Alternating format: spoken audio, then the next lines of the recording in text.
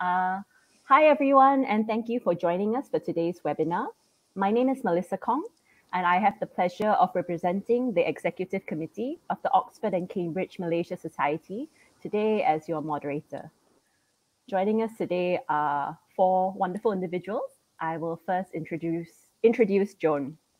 Joan Foo Mahony is the author of Millennials Meet Mary, The Extraordinary Life of a Universal Woman, Reflections by a Millennial Generation on a Unique and Timeless Treasury of Art. The book was launched at the end of May at the Vatican Museum.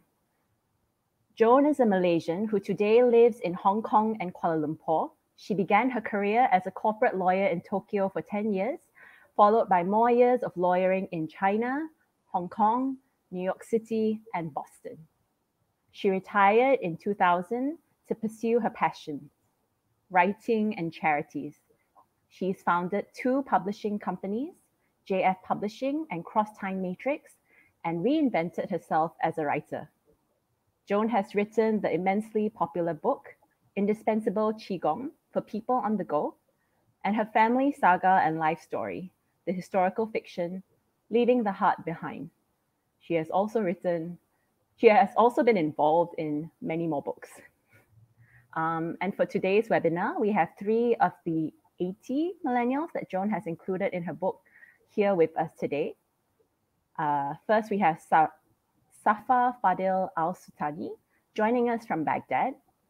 Safa and her family went through hell in the conflict and wars in Iraq that have lasted for more than 20 years, with long years of deprivation, with war and the imposition of UN sanctions. During the war, Safa lost her elder brother and then her father. Her mother was the first female member of parliament. Safa has been the youngest and only female board member of publicly listed companies, Baghdad Soft Drinks and PepsiCo. She was the former assistant to the president of Iraq, and now she trains youth in business development programs at the UNDP Accelerator Lab in Baghdad, which she leads. She was also a Chevening Scholar at King's College London. Ricardo Acosta Latapi. I hope I got that right. Please correct me if I'm wrong. You got it right. Okay, perfect. Oh, okay. Is joining us from Mexico City. Ricardo is currently working on scaling Didi's operations into new markets in Latin America.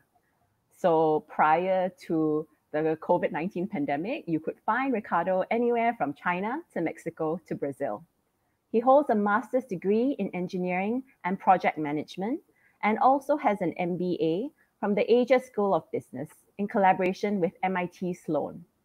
Ricardo started his career at Procter & Gamble in Mexico before joining Facebook as one of its first employees in Latin America, where he led the commercial partnerships with several companies in different industries. In 2017, he moved to Southeast Asia to pursue his MBA. Last but not least, we have Rachel Ng, who is joining us from Cambridge in the, in the United Kingdom. Rachel is Malaysian and has just finished her studies at Durham University. She will beginning, she will be beginning postgraduate teacher training at Emmanuel College at Cambridge University this autumn. After her studies at Cambridge, Rachel's dream is to live as far away as possible from her comfort zone. A high achiever, Rachel is thinking of Japan since she also speaks the language. Welcome, everyone, and uh, I'm going to take a breath uh, because I have just read a lot of introductions. um, to the people tuning in on YouTube, thank you so much for joining us. If you have any questions for us, please let us know your name where you're from because we're expecting a very international audience today and also who you would like to address your questions to. Okay. Um, I will now turn the floor over to Joan with the first question that I have for you. Tell us what inspired you to put together this book and why did you want to focus on Mary in particular? Well, thank you, Melissa, for such a lovely introduction the for me and i think for lots of people the virgin mary is undoubtedly and indisputably the most painted woman in the world ever and as a writer as you have said i've written many books from historical fiction to gardens to art to qigong and and even uh, sailing you might say that my um, taste in books is pretty Catholic. Well, Millennials Meet Mary is literally a Catholic book. I am a Roman Catholic. I am a devout and practicing Catholic and, and totally smitten by Mary. Mary, for me, is a person who who is totally and whose story is totally remarkable. I wanted to write about her story, but there are thousands, if not hundreds of thousands of books about Mary. So I decided to write this book about Mary with art. And I wanted to involve millennials because for me, this was not just a book about Mary. I wanted to write the story of Mary for young adults for young adults today, they're secular, they're more secular than spiritual. But I feel that it's not because they're they're hostile to spirituality. I think young people are probably indifferent to it. And I feel that this apathy can be addressed by art. You don't need language for art. So I decided to tell the story and I would reveal the story with artworks. And then I would invite 80 millennials from 42 countries around the world to comment on the artwork. And it, it need not be from the perspective of an art historian, it's from their personal perspective. And that makes it so much more interesting. And what we have in the 428 pages of the book it's brimming with the most beautiful artworks from great museums all over the world. But more important than the artworks, it's alive with the stories, the personal stories of these wonderful 80 millennials, which you will see. Cool. Thank you so much. And we'll also be sharing some of the art later on in the webinar. So yes, I hope so. That. Yeah. So Joan, that segues nicely into the next question. What made you decide to have millennials give their commentary on the artworks instead of art historians or theological experts? okay. Um, this is actually what I call my COVID book. I, I started writing this book um, in at uh, Easter of 2019. And I, already wanted my millennials to contribute. And I do remember one of my friends the artist L.H. Tan, who actually gave me his beautiful artwork for the end paper, telling me, Joan, you must be mad. These are busy young people. You will never get their commentary in time to publish a book. But guess what? The COVID happened and all of them were free. So, so they all wrote for me in record time. My lovely 80 millennials, I love them to bits. They are uh, ranging from royalty, my grand godson in India, um, actresses like Karen Mok in Hong Kong, Raline Shah in Indonesia, wonderful entrepreneurs like Rosary Sanjoto, uh, young students like Rachel. Um, anyway, um, and of course, you will see three of the most wonderful tonight as well. All of them from every walk of life students, entrepreneurs, professionals, celebrities. But all of them had one thing in common they are unique interesting individuals with with with lives to share stories to share and and who were the, each one of them was fascinated to meet mary of 23 bce this extraordinary woman of 2000 years ago was so interesting and exciting for the 80 millennials. So I, I think it was wonderful. They were totally inspired. And um, in spite of the different backgrounds and religions, I have Hindus, Muslims, Catholics, atheists, agnostics, they were all there. They were all perfect because they these millennials all want the same thing. They want a better world, they want to change the world, and they want peaceful world. And these millennials, if I could live again, I would like to be a millennial. They're exciting, they're fun, and they live in the fast age of the internet. So, yes, um, I think that there was no question that um, I would love millennials to be in the book. Cool. Thank you so much for sharing. Uh, as a millennial myself, I appreciate the love. I don't often get it at work. uh, thank you so much for sharing. Uh, the next question I have, uh, I think uh, when you talked about like uh, this book being a COVID book, that segue segues really nicely into the next question. Um, there has been widely noted success seen amongst women leaders in managing their country's COVID 19 outbreak compared to male led countries. Through your book, do you hope that the historical perception of Mary will change? And do you think we might get a more balanced and female feminist interpretation of Christianity, perhaps? Well, you know, I do have a male in this group of millennials. Ricardo, you have to defend yourself here. well, um, COVID. I have to say that the two best leaders in this world who are doing, showing the men how to lead are women. That's Nicola Sturgeon in Scotland uh, who's the first minister, and and um, Jacinda Ardern in in New Zealand, the prime minister. It's amazing what they've done, and and the rest of the world just messes around. But aside from the COVID, uh, we're talking about Christ, Christian women leadership. I think that women in general and Christian women in particular do not need to prove anything they actually make their impact in the world through their own feminine richness, just as Mary did. And in fact, I, I wrote about this in our Millennials Meet Mary Facebook, where I spoke about a millennial from Rome. Actually, she's a Spanish millennial called Marta Rodriguez Diaz. Um, she is one of the founders of the Institute of Higher Studies for Women at the Regina Apostolorum Pontifical University. And, and she said, and I quote her because she's lovely one of the great challenges for the modern woman is to discover what it is to be a woman.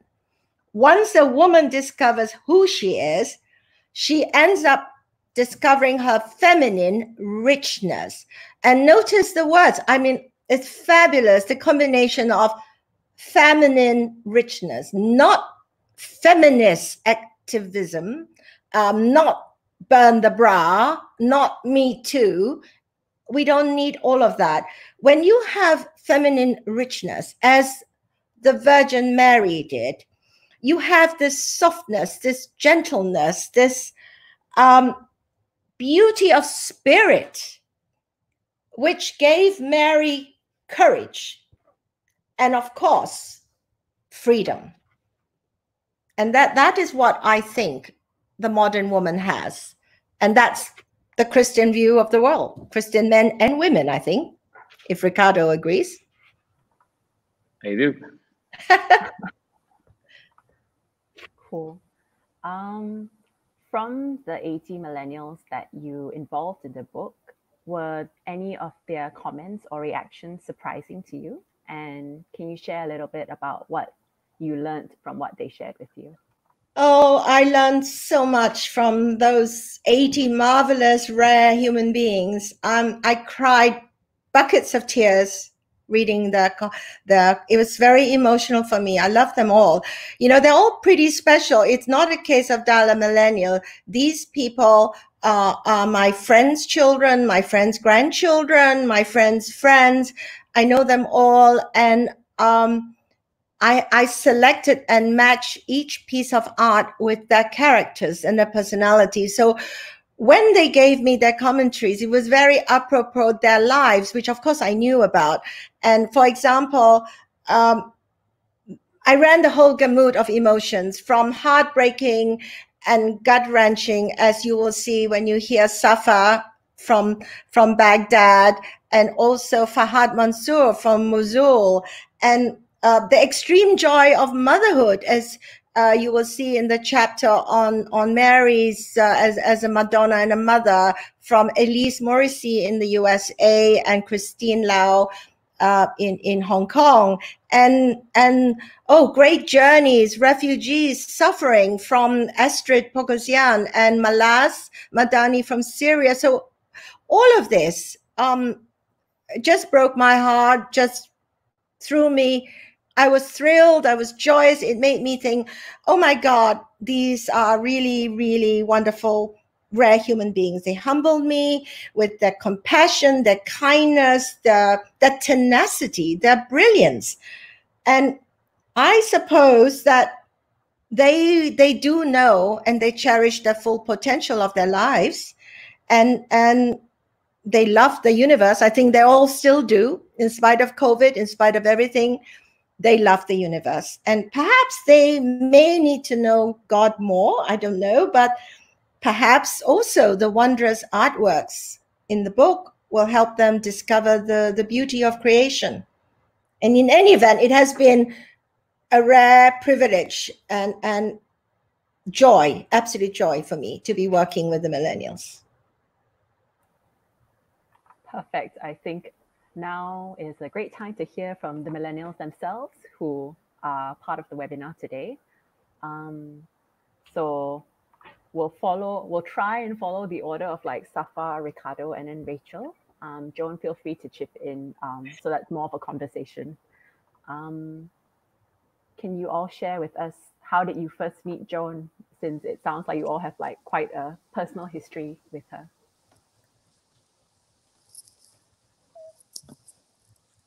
Over to you, Safa. I think you're muted. Safa? Okay, she's muted. Hello.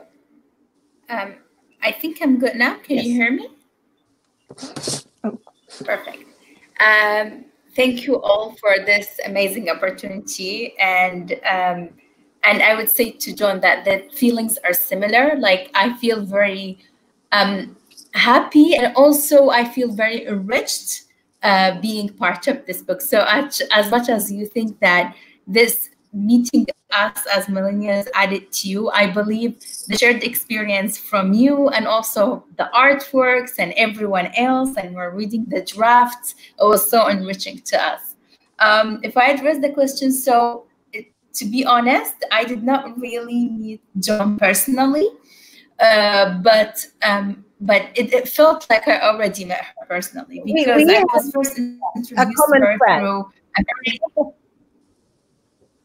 Yes, I, we were introduced through a very dear friend, and I would say he's one of my mentors, uh, who has been there in, in many important decisions that I've made in life. And when he introduced Joan to me, to be honest, I Googled Joan, I saw the books she was writing, and then her email when, when she wrote to me and once i answered the email she whatsapped me. So it was not just formal emails but then immediately she whatsapped me. She was like i want to i want you to be part of this book because i want you i want to hear about your hopes and dreams and feelings how it felt like to be uh, to go through all of this. I've heard about you a lot but i want to eh, give you the opportunity to express yourself. And for me that was you know when you go through a lot of things you try to put them in the back of your head and not really reflect upon them from time to time.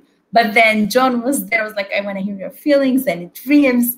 And that was actually thought because like i would send her a draft and then we would whatsapp and then she would like uh, now i feel you now i know where this part fits you. So i think that was a very good transformation for me as well so I'm, I'm going to cut in now and talk about why I chose the painting for, for Safa.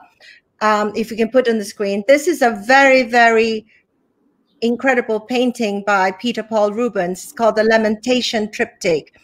And I, I knew that when I gave this painting to Safa, it might provoke a lot of emotions because of so much tragedy in her life.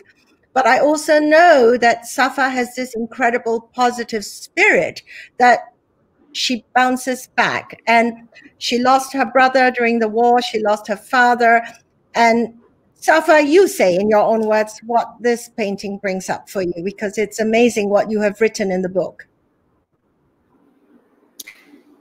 Um, it's you know, and or you remember I was texting you. I had I went to uh, Amsterdam by my own, and I sat there with my journals, and I was like, now you can have the courage to actually look at this painting and write your comments about it. I know it's not for you, but you can have this courage to do it. And I remember being there for four days by my own, and uh, and then all the images of the things I went through that actually brought me that um, that heart to break, that also brought me courage and change and ambition were right in front of me. And I remembered the moments when I heard that my brother was taken away from me, or when I actually experienced life after my father and how tough that was. And it's it's it's it, it's very amazing to look, you know, back 15 years ago, how that actually changed me as a person. And uh, before, I didn't used to tell people that um, I lost family members. Like I, I didn't have the courage to say it and for this book, when I was writing the draft, I was like sending it to my friends. I was like, look, and some of them are like, we never knew this about you. Like, when did all of this happen? You always looked perfect and happy, and you never address any of these things.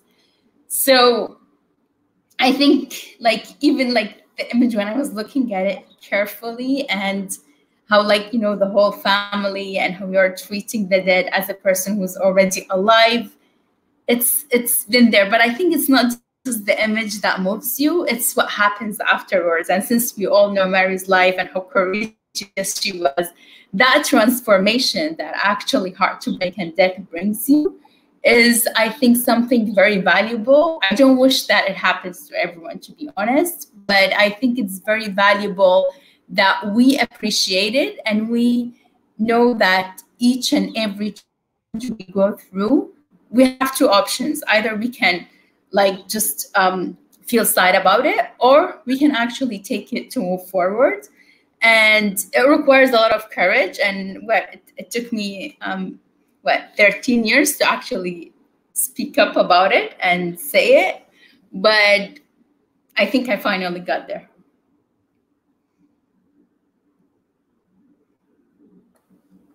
Thank you for sharing your story, Safa. Uh, yeah, I think especially the bit about the courage that you found um, through the process is especially inspiring.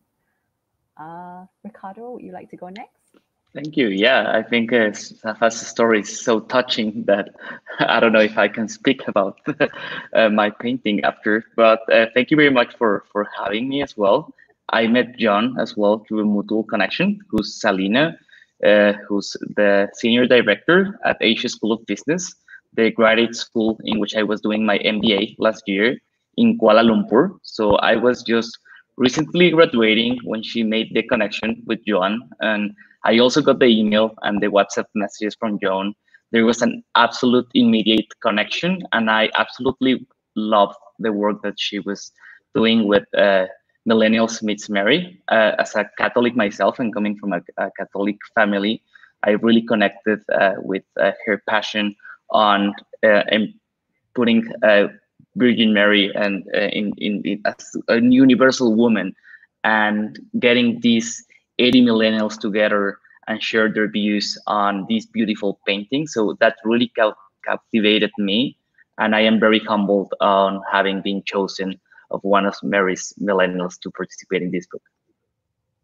Can we put up the Ghirlandaio painting so that, oh yes, here it is. So because Ricardo has some lovely commentary on on the calling of the apostles and very apropos what he's doing now uh, uh, as a influencer and in social media.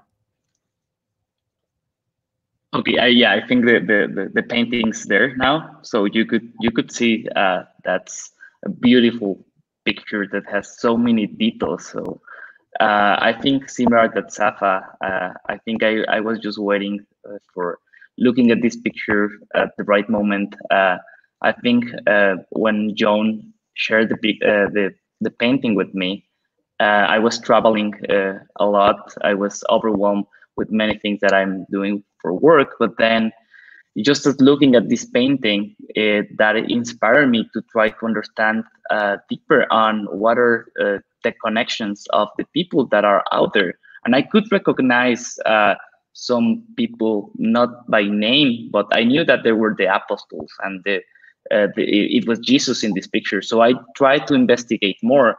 And then just to find out that Peter and Andrew, who were uh, two of the main apostles uh, from Jesus and that were really close to him. And I tried to compare that to who I am and who, uh, in which world do we live right now, in which we always call uh, that we have like multiple friends in the context of social media. We'll call them followers, and we use this word a lot, right? Like how many followers people have. But then I try to understand, wow, like this is really uh, like close people that were chosen by by Jesus, and what is the impact that they had with him? And I think that's the commentary that I made uh, to this to this beautiful painting.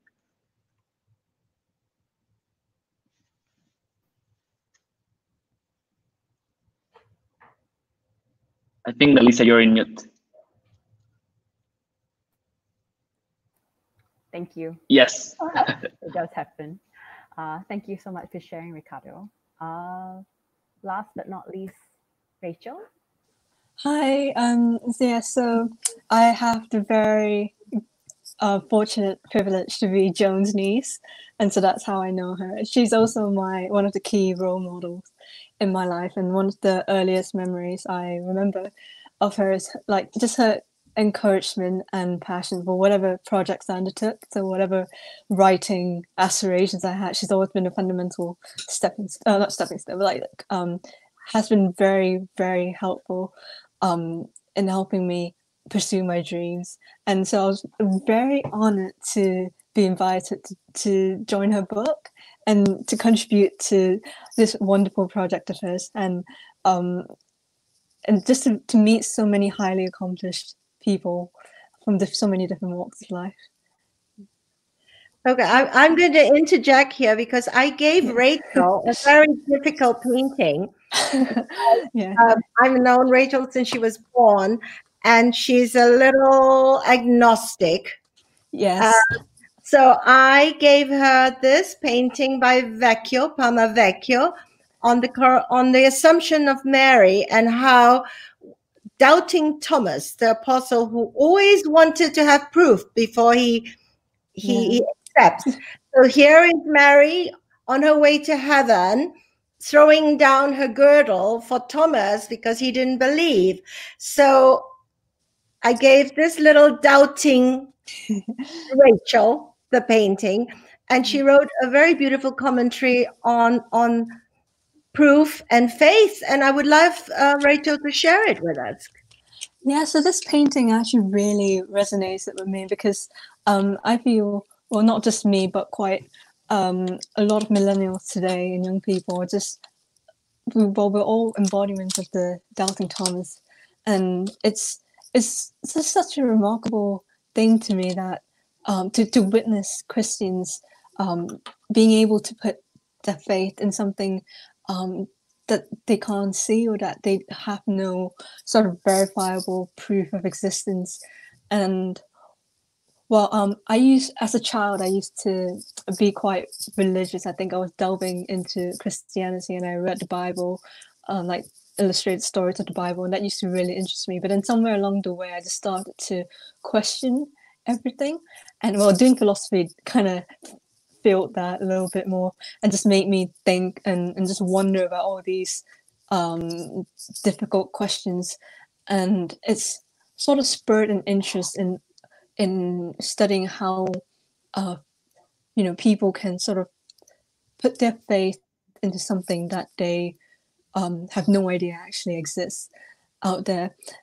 So what I really what I really liked about this painting was um, just the way the Doubting Thomas is portrayed here.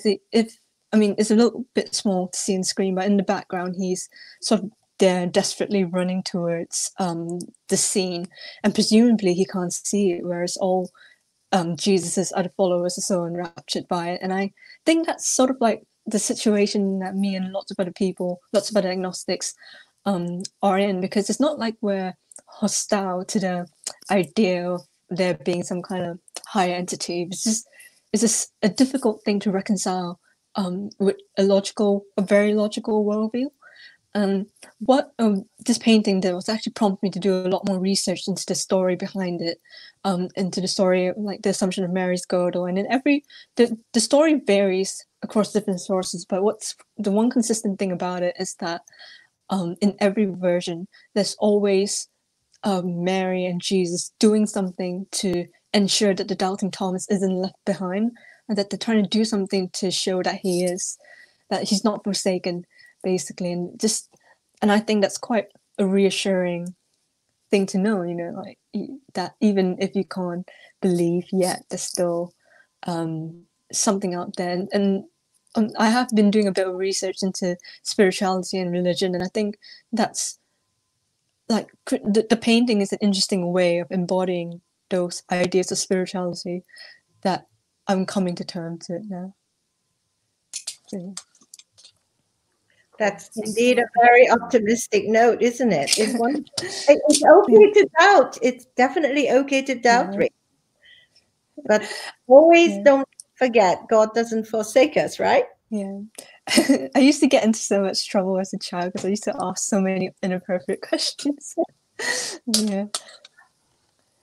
Thank you so much for sharing. Uh, I think it's really nice to see how I think each piece of art means so much to each of the millennials. Uh, I do want to know what was your initial reaction when you were first approached with the idea of this project? Uh, perhaps Safa, you can go first. Yeah. Um, to be honest, I was really scared.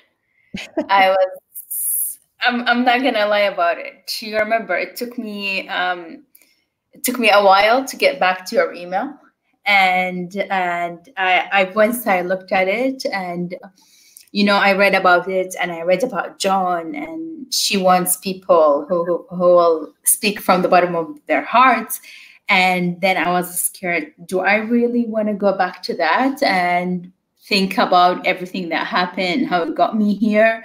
And think about the sources of my courage or um, like how I was able to get that courage, how I was able to move on. Do I really want to go through all of this? And uh, is it the right timing to do this to get back all these feelings and emotions and reflect back on life? Because I think what I did, and this is one of was one of my main achievements in 2019, to be honest, thanks to Joan, is that I had the time that was like exactly the right time. I got back from London, I got my job with the president's office.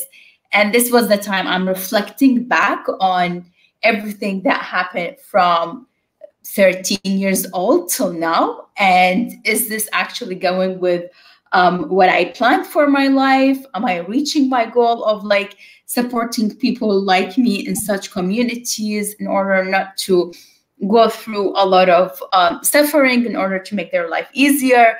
And I was scared to go back and look at all of that. It's it's it's. I think the scariest thing is not actually skydiving or bungee jumping, but it's actually going into your own self and investigating what is happening. And are you actually um, doing something that's memorable in this world? And uh, and then that was the first like thing to scare me. The second thing was that am I ready to share? Do I want to share with people? Um, what will people think about me if I share? Honestly, like, I'm, I'm not gonna lie. I thought about all of these things and will they start seeing me as something who's weak and not someone who's courageous and has that cheerful face and you know all, all of these questions came to my mind. And then I remember like sitting there one weekend, I was like, look, this is like you always want to share your story. You always want people to see that even if you go through really tough times, you can still smile, you can still be actually happy from the like bottom of your heart. And you can actually still be there for your family friends and community. And this is your golden opportunity to actually share that not just with iraqi people um, but not not first not with your family you know? Like it was very important for me to share that with my brother and sister and my mother and then with the iraqi people. And now like the whole world will be able to see this. So um so yeah so but i'm not gonna lie even during writing my comments and my bio was yeah it was a lot of tough work cool. you did a good job safa Thank wonderful you. job thank you Uh, thank you for sharing, Safa. I think before we move on to Ricardo, uh, we have a question from Saba from Iraq who asks, what inspired your inner courage? Um,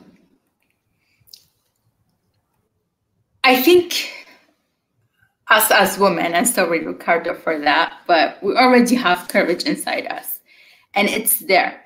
But some society implications uh, forces you not to actually act courageously and just be the female virgin they portray or they you know they draw right there. So women don't actually discover themselves and know that they are courageous and get that inner courage out of them. So i think that was the first thing. It's actually in there but then also the circumstances that i was put through um, especially losing my father and then uh, not giving up on my dreams and wanting to get to, to be successful and to finish studies and to work. So that required me to add a little bit to that. And I would say it's having that motivation and drive is what gets that inner courage out and allow you to continue moving on. Thank you for a very poignant answer. Uh, Ricardo, the floor is yours. Thank you. Yeah, uh, I think yes, hearing hearing all the stories of different millennials uh, made me question myself.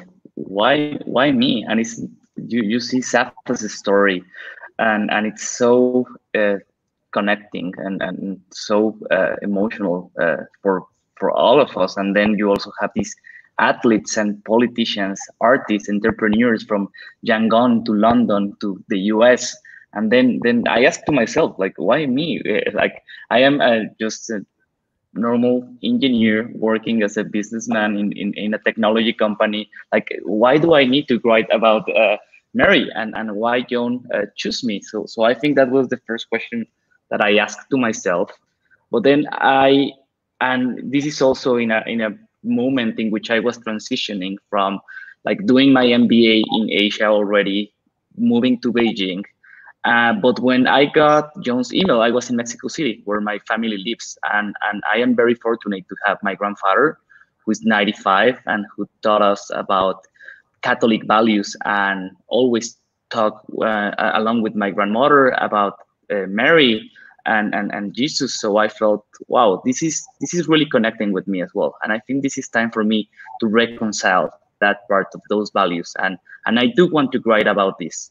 I, I don't know how to write. I am an engineer as well, so I hope I can put into paper uh, some of, of my thoughts and and my uh, what I think about this painting. But I think it's not only on the commentary, but on the analysis and self-reflection on how the religion and how Jesus and how Mary and how this universal context in which we are living in and, and all these different thoughts that, that you start to have and then trying to conciliate that and then yeah i don't know like the move the, the, the world was moving too fast. And also uh, i think when i finished my commentary as, as joan was saying it was uh, during covid time right? Like we are just living this through new uh, pandemic. Like we are all learning on how to deal with what's going on. Uh, uh, and it was like a moment for me to stop uh, on this like super fast, uh, you know, life that we used to have, like moving a lot,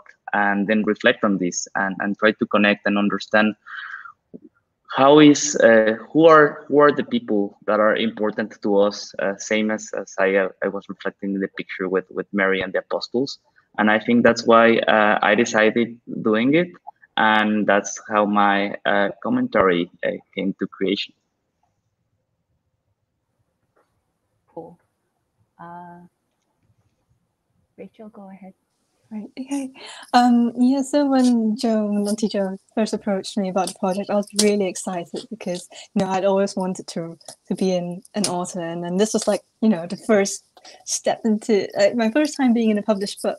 But then that was quickly followed by a lot of apprehension and, and nervousness because, um, I mean, Ricardo was kind of humbling himself a lot, but I, I feel like everyone, especially Ricardo and, and Safa, they've endured so much. They've they've seen so much of the world, accomplished so much.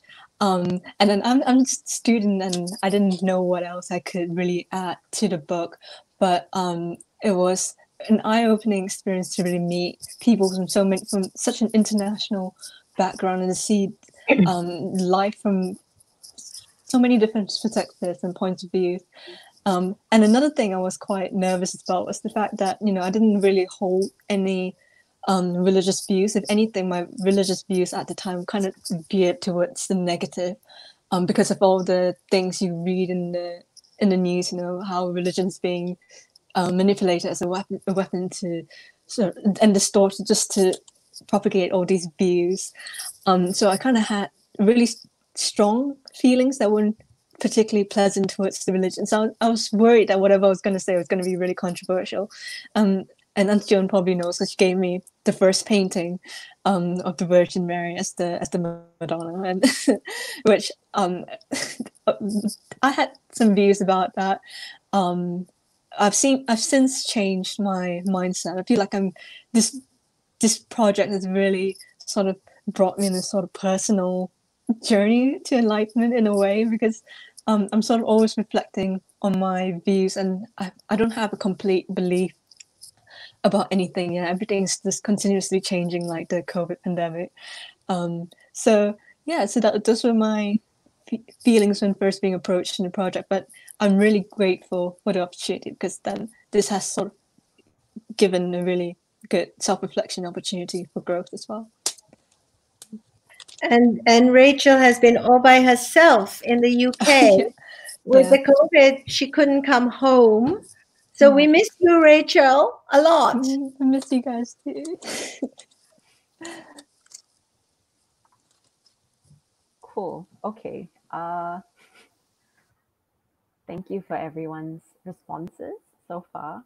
Uh, the last question that I have uh, for Safa, Ricardo, and Rachel are to do more with, I think, the process um, in terms of how did you approach your answers and I think Rachel already alluded to it a little bit, but like, what did anything change for you um, uh, during that process of uh, responding to the paintings that Joan provided to you? Yeah, go ahead, Safa. Okay, thank you. Yeah, uh, I think it's uh, so it gave me that realization that it's you know the whole process was not very easy me trying to get all my emotions out and also with what i've done in my life and how how they both were like incorporated together. And then it gave me the realization that I, I reached conclusions and i wrote statements in the in the commentary and in the bio that were not like actually on the top of my head at the time. But now it's more realization of myself. Yes, this is what I went through. I'm not ashamed of it. I used to be. I'm not anymore. This is the reason made me who I am today. And maybe if you come and ask me four or five years ago, I would say that I was not very proud of the person I am just because it's there's like a lot of emotions and all of it. But now it's like, no, this this journey, this tough journey, actually made me want to accomplish, made me want to help others, made me get to the UN, made me get to try to be a trainer for women who are like in the south of Iraq. You know, it's this this what actually got me that realization that this is a process and now it's matching together. So, and this is something I really, I really needed in my life. So, and also like through the whole thing, I was, I was I was reading the bios and the comments of other people as they posted because we had like a shared Google Drive, so you can see all like the updates. And uh, I think this is something that I saw with different um, with different people and their bios is that they're realizing who they became and how that paintings and how that um, like comments made them reflect on their lives. So.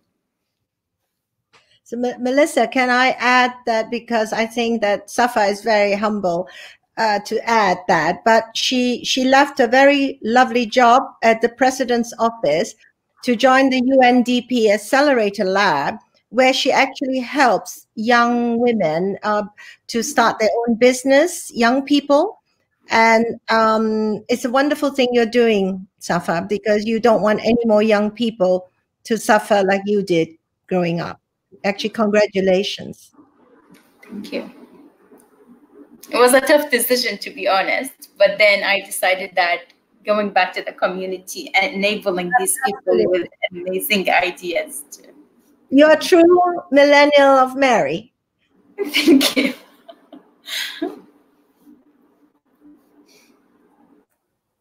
Thank you so much for sharing safa um, ricardo what was your process like yeah, it's an interesting question. What, what, what was my reaction and process?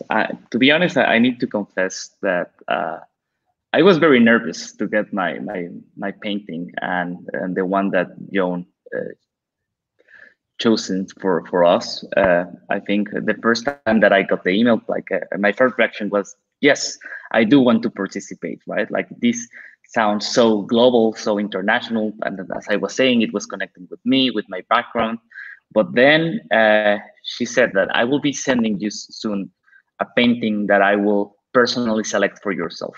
And that's when I started to get nervous and say, wow, like this person that doesn't know that much about me, but it's already like reading my bio and it's already analyzing uh, some of my background and is gonna share with me.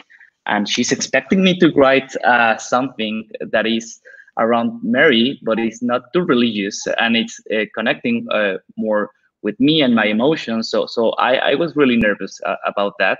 But then when I got it, I felt an automatic connection and I have this gut feeling that I wanted to write something about the apostles that are there. Like, as I told you before, I didn't know who exactly they were, but then I, I, I got to know by some Google search and, and, and analysis with the author uh, to to to know that this this painting was is the, Sistine Chapel in Rome. So that connected with me as well, and I tried to remind myself when I visited the Vatican, and I think the last time was ten years ago, and I couldn't remember seeing seeing that picture. But I really tried to analyze it and and reflect on on human connection and who are these uh, people that are represented there, and that's what I decided writing about uh, the connection that the apostles have with with with Mary and with Jesus in the context of being uh, close with them, being friends, uh, or calling them followers, as we use in social media, as I mentioned before.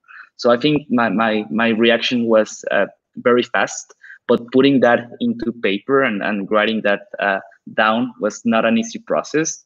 But I think uh, there's there's a lot more that is it was in in my in my head and I, as i said putting that into like a few words in few paragraphs and seeing all the other uh, commentaries that other millennials were doing i then uh, realized that i was very humble on, on having this opportunity and this was uh, the, the contribution that i wanted to, to give back to joan and, and, and to the other 79 millennials uh, and, and the rest of the world so I'm really humbled and, and, and grateful for, for this opportunity and participating. Thanks, Ricardo. I especially like the analogy you made between uh, Jesus's followers and uh, what we now have in the modern world. I mean, I mean, if, if, if this is like we're talking about two millennia ago, right? There, there's a world without internet and social media, even TV or radio, right? And in that context, like if you if you see like uh, like Jesus has like 1.2 billion, and this is Vatican official figures, right? 1.2 billion uh, base, right? Which is if we compare to to any celebrity or famous person on the internet, it's it's three or four times more uh, on this followers base, right? So so that's that's I think the incredible part of the Catholic uh, religion and and in the in the global context in which we live and the importance that it has. So I I really wanted to write about that. So thank you for for that. Cool. Uh, Rachel, if you could share a little bit more. Yeah, so um, oh, I think the way I've changed in this process is become a, lot more of a of a an open-minded thinker because before I was more combative in my writings. I used to sort of think um, think of things in a way that was intended to challenge them, um, just to demonstrate the falsity of the, the whole belief system. But then in examining this painting in particular, it's kind of helped um, spur more research, that I said earlier, into into the religion itself and how um, you know you're not non-believers on forsaken. Um, so I feel like I've changed in terms of my open-mindedness um, when writing about when commenting on this painting, and actually just looking, just doing a bit of reflection again now.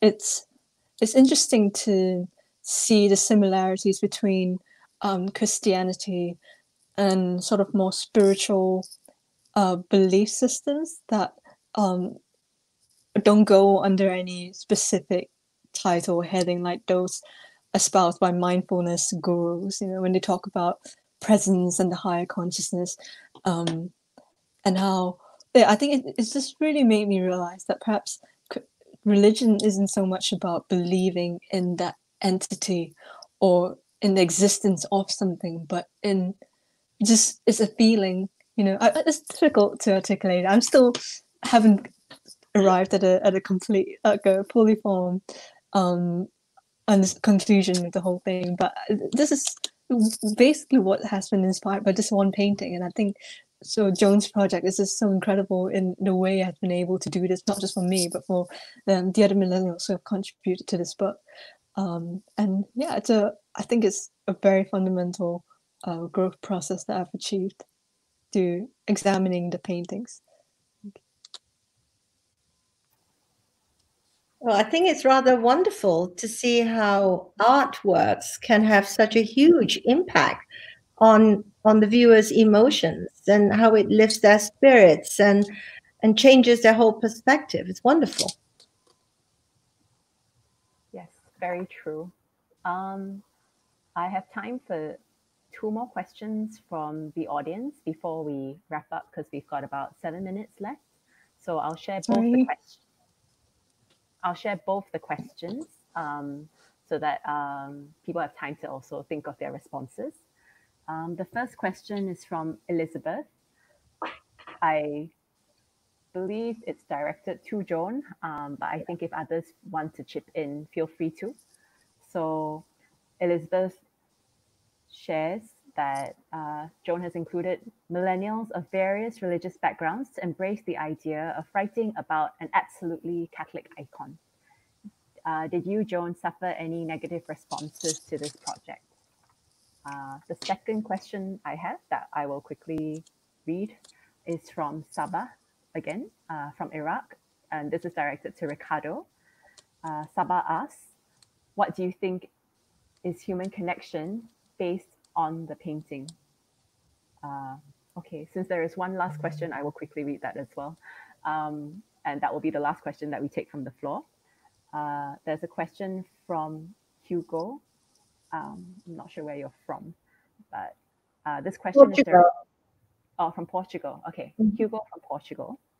Uh, he asks, Rachel, having no specific beliefs, what was it like to reflect on an iconic figure of one certain religion? Right. So I will go first. Um, Elizabeth, you wanted to know if um, there was any negative response to the project. You mean from any of my millennials, obviously. Um, actually, I asked more than 80 millennials, knowing that there is an attrition rate. But actually, I had only two people who who couldn't write. One person backed out at the last moment because of work, and and the other one was away somewhere on on safari and just didn't have time.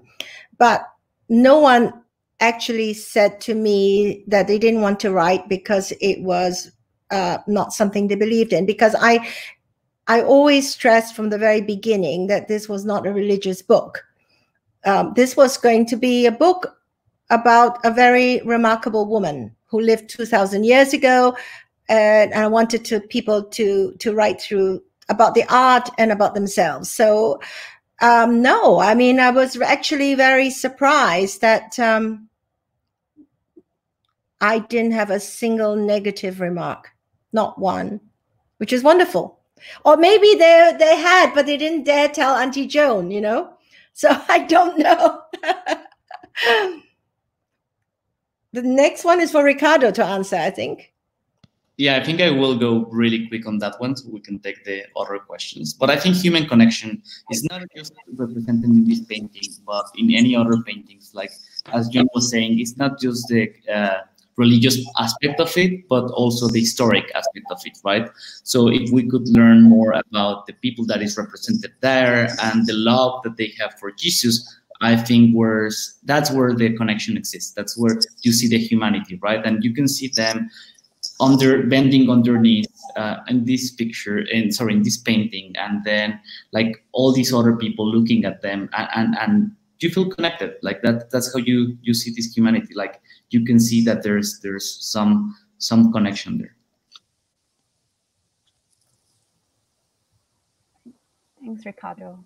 Uh, Rachel? Hi, yeah, sorry, um, connection issues. Um, yes, thank you for the question, Hugo. Um, so yeah, I didn't look at it from a specifically religious point of view. So um, I kind of did it as a academic intellectual study. So um, it was i think it was actually really helpful that i didn't have any predisposition towards one religion or another when approaching this project because then it helped me um, look at it with a more open mind than i would wouldn't otherwise have had if i was already you know inclined towards uh, this religion or the other so i think it would i think there was a follow-up question as well like what would it have been difficult challenging for me to come in a different figure from another religion and i don't i think it would have been the same procedure because I've um, approached them both with the same neutrality as I would uh, an academic study. So it was interesting to look at it in that light. And yeah. Cool. Okay. Um, this is my final question to everyone. What were some overarching conclusions that you reached from the project? Um, I think maybe Safa, you can go first, and then we'll end with Joan. um, we all somehow share similar stories. Eh, we all have somehow uh, know about each other and know how each other feeling. It doesn't really mean like Iraq or different person, like even from previous generations and marrying 2000 years ago, it's eventually there are like these similarities that run across. And being part of this international network of millennials is so privileged. So, yeah, I think this is the conclusion I reached. Ricardo, what are your takeaways? Yeah, I think it's, it's very similar on Safa's. On it's a great privilege to be connected. I think we live in a world that made uh, this possible. Like I am absolutely amazed on how many people from different backgrounds and different countries, like Joan, was able to put together in the book. So, so I think that comes back to the, the current world in which we live, and and also like reflecting on those like two millennia ago in which Mary lived and how small but and also a global world there was and how it has evolved right now. So very privileged to, to be selected on, on this project.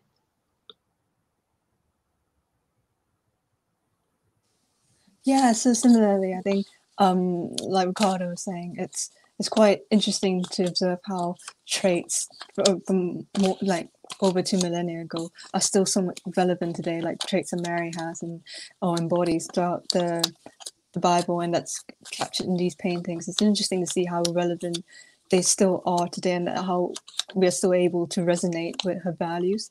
Um, and I think that's the core of the religion, basically, is what inspires in you as an individual.